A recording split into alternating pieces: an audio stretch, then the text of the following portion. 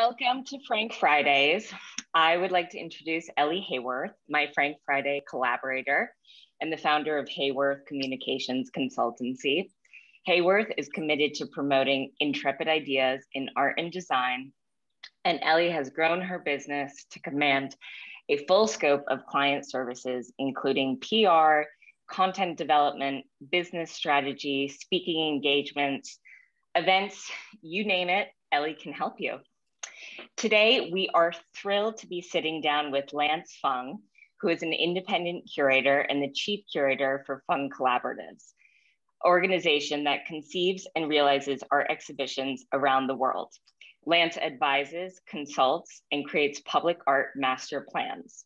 He has been curating large scale public art exhibitions since closing his gallery in 2005 in New York City and to pursue his curatorial practice.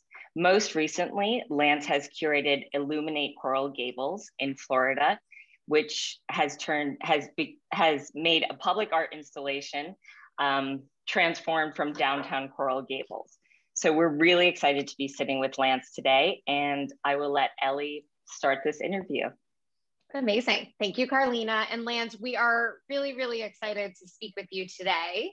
Um, it feels a little serendipitous. I am actually based in Coral Gables, and so I get to experience the Illuminate Coral Gables initiative quite regularly. Um, but just welcome, Lance. We're excited to have you. It's my pleasure. I'm really excited to be here. Amazing. Um, so maybe as we just kind of start our chat today, I'd love um, to hear, you are certainly a multi-hyphenate professional in the art world. Um, Karline gave us a kind of a great synopsis of your career, but perhaps you can tell us a little bit about um, just your story, you know, starting a gallery, closing a gallery and becoming this kind of, you know, roving and very ambitious curator.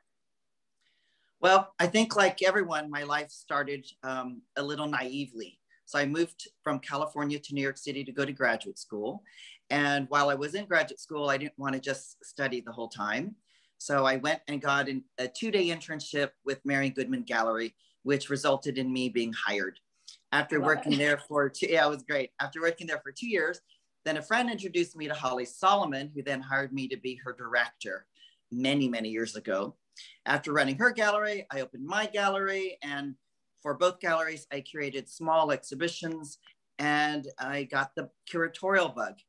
And after completing a big exhibition titled The Snow Show, I decided it was really time where my calling moved uh, away from the commercial uh, side of the art world into the non commercial. I love it.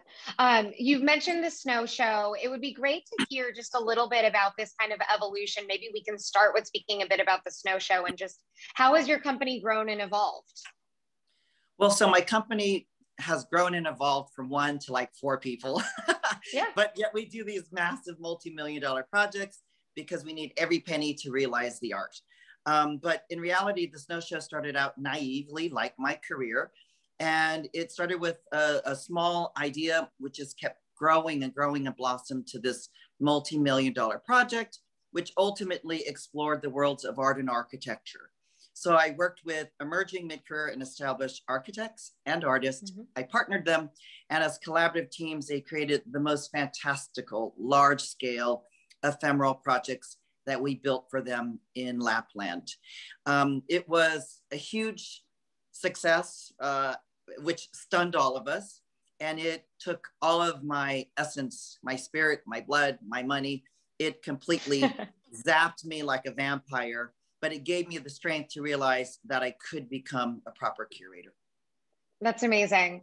Um, and I think similarly, you know, Illuminate Coral Gables, which we've already spoken about just ever so briefly, um, is it's kind of an orchestration and a constellation of different you know thought leaders and tastemakers as well as um, just kind of vested interests here in miami. Maybe you can tell us a little bit for anybody who's listening to this interview you know the show is currently on view. It remains on view through march 13th if i'm correct lance? Yes. Uh, great. And so yeah it would just be great. Maybe you can tell us a little bit more about the story of illuminate coral gables so decades later, after doing the snow show, um, I was hired to curate Illuminate Coral Gables. Originally, their idea was to do a long weekend slash week of projection, fantastic, pretty uh, wall projections so that buildings crumble. And we've seen all of these at various holiday time periods. But um, when I was hired, I said, this, this, that's great, but it's not what a curator does. And we really work with proper artists, whether emerging or established artists. So very quickly on our hiring interview, our meet and greet, I did the pivot that I wanted to do Illuminate Coral Gables as a proper exhibition of contemporary art in the public space. But we maintained the idea of light, uh, which was mm-hmm. really what they were interested in. And again, going back to the snow show, what was so wonderful was there was this Jekyll and Hyde kind of approach. So you could walk through, you know, a Zaha Hadid and Cai Guo-Qiang piece or uh, Kiki Smith and Lebbeus Woods piece and see it in the daytime. But at night, the special effects of lighting created a very ethereal, magical, spiritual kind of feel. And so that was sort of the other element that I added to illuminate Coral Gables so that the exhibition would be viewable in the daytime and through light mm-hmm. and technology, it would provide a different experience. And I'm happy to say that our experiment has worked. And so throughout downtown Coral Gables, there are eight projects uh, designed by 16 artists at mm-hmm. 15 sites, a super great, diverse group of artists from young to established from all around the world. And ultimately, the exhibition's up for free. So you can walk around, ride your bike, see it in a car, um, really do it based on your comfort zone, on um, obviously pandemic, you know, sort of um, conditions.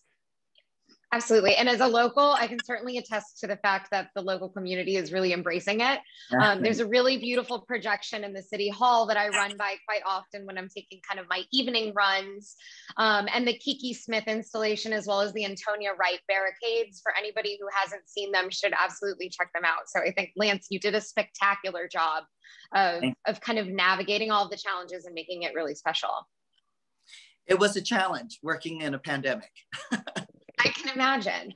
Um, and I think maybe this is a great question to kind of segue out of that. You know, a project like the Snow Show or Illuminate Coral Gables, as I mentioned, takes kind of an orchestration of different um, different key players. Can you tell us a little bit about how you network with um, both the private and the public sector? Some of the you know tourist bureaus, the cities, just tell us a little bit about the kind of professional networking that goes into these projects.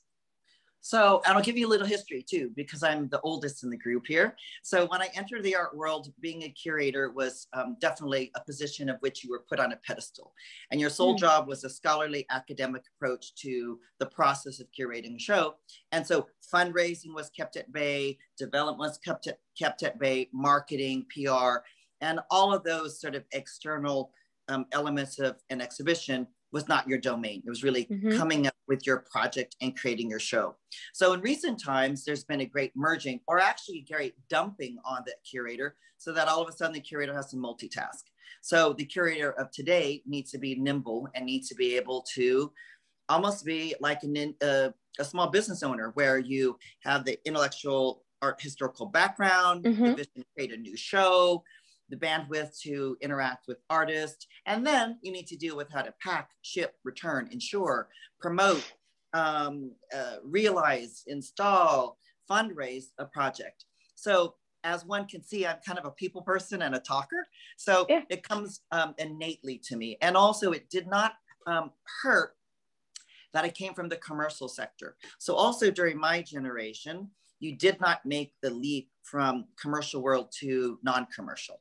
It was a barrier that was not penetrable. Mm-hmm. And I just did it kind of naively because I was innocent, which was great. And I made that leap. Nowadays, I think anyone entering the curatorial field needs to be prepared to come up with a good show, know how to articulate it in writing and verbally, and also know how to present it properly. Old school curators would be very dry. It'd be like working with a librarian and it's very mm-hmm. academic and and um, uh, scholarly.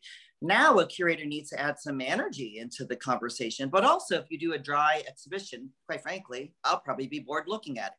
So like an artist, if you're not connected to your work, you're not going to get people interested in it. So yes, for Illuminate, it required a lot of navigation, which I loved. So I'm working with Miami-Dade County Public Schools for Illuminate. Over 300,000 children will be involved in our educational program. To me, that's an audience that's untapped, right? And then we worked with Greater Miami Visitor Convention Bureau, all the people that come into mm-hmm. uh, South Florida. Um, so we worked with them to kind of help co-promote it because why do a public art exhibition that's free and have no one see it, right? So anyone coming into town, come and see your show, or better yet, plan to come and see our show and fly in. And so the, the most grueling part of Illuminate was the fundraising. We were on a big roll when we were, um, when I was curating and fundraising before the pandemic. And then, as we all know, without explanation, the world came to a stop. And so um, the task of um, uh, reducing the exhibition to what was right, but not, you know, a hollow version of the original mm-hmm. idea, and then raising the funds to realize it was a Herculean task. Um, but it's part of the job and you just do it. The one thing I have learned and the advice I'd give to anyone in that situation um, or someone younger is the minute you feel your project is being compromised, you need to pull out, you need to stop. The minute you feel anyone is taking advantage of you or violating you or abusing or exploiting your gift, your skill, your time, you mm-hmm. need to know how to stand up for yourself. None of that took place with Illuminate Coral Gables, but for many of my other big successes, they did. And I was too young to um, understand the warning signs. Um, and that's something I, I always try to teach my students stand up for yourself, know your boundaries, and do great work that's passionate. Absolutely. No, I think those are certainly you know key best practices to kind of keep at the heart of all of your work um, and just to continue to value you know what your contributions are. Um, i think there's something very interesting that precipitates from that conversation that we just had both about kind of the networking experience as well as um, you know i often use the word scrappy. I know that sometimes scrappy takes on um, a negative tonality. I think Scrappy is actually a very positive quality and something that can be very elegantly rendered if it's done in the right way. But I think there's something interesting about this balance of a grassroots initiative, one that you can see from the ground up. And then you also have experience, Lance, working with, you know, esteemed institutions like the Venice Biennale and other major, major players in the art world. So how, you know, beyond starting something from the very, very ground up, how do you get involved with an organization like the Venice Biennale and do they take similar skill sets? Um, I think the one skill set that is required for any industry and for anyone to succeed is just authenticity, right? Yeah. And I think people seek it out. And often when I do a public lecture, everyone comes out like, "Oh my God, you're so passionate!" Da, da, da. And I'm and, and I'm like, usually you could ring me out because I give all my energy. Mm-hmm. People say a cross between Tony Robbins and Robin Williams, right? When I'm up on stage, and I kind of channeled this energy. And I think that's what's infectious and that's what's hireable and that's what people are looking for. All the nitty gritty of, you know, how to do something really um, can be taught. Mm-hmm. But if you don't have that drive and that confidence and security, then, you know, it, it doesn't come through the work. Um, so, however, working with the bigger institutions or the more um, glamorous kind of um, venues, it's the same work. I'm flying on an airplane in comfy pants and, and loafers. I am eating spaghetti bolognese or club sandwich in the hotel. I land I leave at night. I don't sleep on the plane. I arrive in the morning, and from the airport, without brushing my teeth or showering, I'm usually going to my first meal. Mm-hmm. It's just you have to put in the time. Um, yeah, it's a little different. Uh, when I was invited to be the curator for the site Santa Fe Biennial, which mm-hmm. was a huge honor for me at the time, I was the youngest curator to be invited, and I followed the likes of Rob Storr and Rosa Martinez and Dave Hickey, all these like uber, you know, famous curators. And then I, I popped in. Um, it came in with a different kind of gravitas. And mm-hmm. so um, my behavior didn't change, my language didn't change, my accessibility didn't change, but the tone of how they interacted with me changed a little. Um, but it's like a yo-yo. So when we started Illuminate Coral Gables, I was emailing all the powers that be in Miami begging for a meeting to say, remember me? I did Site Santa Fe back in 2008, a long time ago, but remember me? I'm doing this new thing in case they didn't know who I was. And, you know, I met with some people, some people didn't have time to with, meet with me. But once the show opened, the work was out. Happily, I was so genuinely embraced by the Miami art scene. And we're like, oh my God, this is super great. Congratulations. Or can you take me on a private tour? Right. So it's still about the art speaking because if Illuminate sucked, people wouldn't be coming to see the show. Sure. Um, so I think I think work ethic is always going to be the same. Uh, and the other thing is, um, when I started with that big job at Holly Solomon, and I was the youngest gallery director of a sort of a top gallery. Mm-hmm. I remember coming home uh, to California and I was all like full of myself and very happy and proud. And oh, I did this, I met this. And my parents are like, that's nice. What do you want for dinner? And just completely the humanity down. came back. Yeah. And then I was like, Mom, Dad, like I just did this. I just met so and so. And she said, I remember my mom when I met Elizabeth Taylor, she said, Did you get her phone number? I said, No. She said, Are you going to go to the movies with her? And then I said, No. And then, and then she said, Well, then it's nice you met Elizabeth Taylor, one of my favorite actors, but it doesn't change who you are, sure. right? So I think a key is when you when when your viewers are at that level of doing bigger, you know, world renowned venues, don't believe in the mythology of mm-hmm. you as a curator because they write about you that way. Like Lance Fung of the eponymous gallery da, da, who did da da da da da which is great. And I'm super proud of it, but it, it hasn't changed me at all. And I will also say, a little sad but true, right after you get that big New York Times review, which of course I'm waiting for and dying for, and it's great and everyone sees it, everyone gets it. The next day, it is lining the bird cages, right? And the art world will say, What are you doing next? I'm like, my show's up still, you know? Uh, and so it's just, it, I guess that's great. The art world keeps you humble because if you Certainly if, if, you believe in yourself and you're not humble, mm, who wants to work with someone like that? No, and I think it kind of keeps, you know, it keeps the that zeal moving because you continue to kind of set the bar higher and yeah. you know you can continue to get innovative. You may sharpen your teeth in certain areas of or your toolkit in certain areas of your practice but there's still growth that needs to be had in other areas. So i think that's very refreshing to hear lance. And as someone who you know is relatively i would say i'm quite secure in my career but i'm still very much at the beginning of what I hope will be a long career in the arts, hearing that we can continue to evolve, but we always maintain our humanity is something that I find very refreshing. Mm, great. Great. Yeah. I'll, t- I'll give another little piece of advice. I've retired twice, retired twice from the art world. I was so baked. I was like, this is bullshit and I'm tired of this and blah, blah, blah, blah. And I just, I just retreated and I had no intentions of coming back. And then work found me and brought me yeah. out of retirement. And that's when I knew I needed to work again.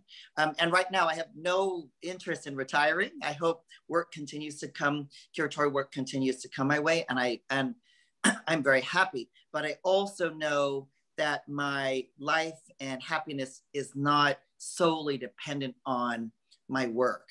and the other thing is, I only I'm fortunate enough now to only take projects that I want to take. Oh, That's that a is a wonderful benefit. Yes. It is indeed. It is indeed. And I think, Lance, this is perhaps a great segue. Um, we were speaking a little bit before we hopped into our kind of recording um, about how your kind of professional landscape or your, your really your work life has shifted with the transition to remote work. Um, can you tell us a little bit about just what a remote work day looks like for you and also some of the roles that you've taken on? Sure. So about four years ago, I decided through a friend to start teaching. and I began teaching, I think, one or two courses at San Jose State University here in Northern California. Um, and now it's grown to two to three classes a semester. And it really was sort of an effort to give back. One doesn't go into teaching for the salary. One can't survive on a teaching salary, quite honestly. Um, so I entered the field um, with different reasons. I have gotten back the same, if not more, from my energy teaching. I love my students. Mm-hmm. I don't know if they love me, but I love them. I'm challenged. I imagine they do. Um, they learn a lot of stuff because they tell them all the real shit without like being all professorial. Um, mm-hmm. and so this is really great yin yang. Um, and it's so rewarding. Um, I'm going to sort of skip and I'll come back to your question. but for Illuminate Coral Gables, um, and it's part of your answer. Um, we had to work remotely. So the show, I started curating it by traveling, studio visits, and it all shifted to I've never, well, who would imagine curating, building the show, and re- realizing the show almost entirely on Zoom? So the one benefit was um, in working with uh, Kiki Smith or Cai Guo-Qiang or all of the other artists, they had time because no one was traveling mm-hmm. either. Kiki and I Zoomed weekly for one to two hours um, a week, and it would be robust conversations about the work, the philosophy, the audience, the materiality, um, fabrication, our garden, our dog, our home renovation, yeah. like everything, recipes, yeah. you know, it was great. And we were friends before, but like it took it to another level. But we didn't know how to realize your work and we couldn't realize it with her foundry, you know, because she and I needed to oversee it. So in the end, one of my students who just had graduated, had all these lectures on Kiki Smith one day, is Zooming with Kiki Smith the next day, creating the prototype. And then Steve Della Carpini became the sole fabricator of Kiki Smith's entire work, which is one of my favorites in Illuminate Coral Gables. That's amazing. Our other volunteer intern from um, Philadelphia, when we did a big project in Atlantic City called Artlantic, years ago talked about augmented reality. And I thought, oh, okay, I can't deal with it. I can't even like post a Facebook post, right? With this AR. And then we thought, why don't we do for each of the 42 animal constellations by Kiki augmented reality? So we go back and we call a former intern. He gets hired to do the whole um, augmented reality component. Uh, an artist friend of mine became the graphic designer to do the entire free downloadable coloring book that we've done for Kiki Smith. Um, and then lastly, my other undergrad graduate last month, right, um, became a web designer and did a huge, robust Illuminate Coral Gables website. Um, the website's so, a fantastic resource, by the way, Lance. Yeah, I think she did a great job. She's my next Zoom. But to answer your earlier question, I know, I know I digressed. Um, but definitely, you know, we've all had to change our our work behavior. And so I'm usually sitting right where I'm sitting and I'm doing a gazillion emails a day and Zooms and not traveling. And quite frankly, yes, I can't wait to get vaccinated and I can't wait for the world to return to a, a different normal. But there's mm-hmm. been a groundedness, I think, that's happened. And maybe with all the art institutions struggling for audience and funding, they will maybe revisit their core mission um, and feel more compelled to do the work they do and to do it better and to do it more equitably and to do it more transparently. I love that. And I think Lance, you quite literally took my last kind of concluding question out of out of my mouth. But I, you know, for us, we love to kind of conclude these interviews with one positive takeaway that has come out of what has been, you know, clearly a very volatile and challenging year. Um, so I mean, on that note, can you maybe just reiterate that that one sentiment because I think it's really important to come back to core mission. Well, I think if you truly love what you do, you'll be able to do it well and you'll be able to do it no matter what at what cost, right? So when you are truly passionate about your your path or your love life or your family or your home or your garden, mm-hmm. you're going to make it happen, right? No matter what adversity is thrown at you. I think Illuminate Coral Gables is a wonderful testament of that because everyone thought for sure it would tank. And in fact, when our contract was suspended because there were no funds, we said, do we keep doing it or not? And we just worked full time, artist, mm-hmm. me, my husband, who's the director of um, Fung Collaboratives and Illuminate Coral Gables. We just kept working from March until April when the contract came back in because time said, I guess, you know, the city said you can do a show, but it was all on hold. And we just worked. We just worked. And it wasn't about a paycheck, it wasn't about visibility. And then, and it resulted. So I would say to anyone, pandemic or no pandemic, don't give up. Fight the good fight. Don't get pushed around and you will get there. And the there is going to be different than where you're imagining now. I did not think I'd be doing what I'm doing now at all. I had a completely predetermined career path as a youngster, and I just took the organic path.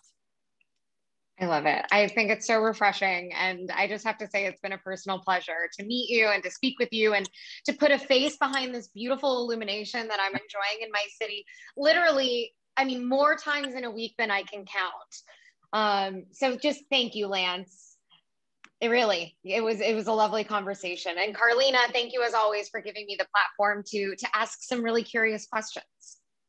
This was a great interview. Thank you, Lance, and thank you, Ellie. This was just lovely. And I hope everyone enjoys listening to it as much as I did.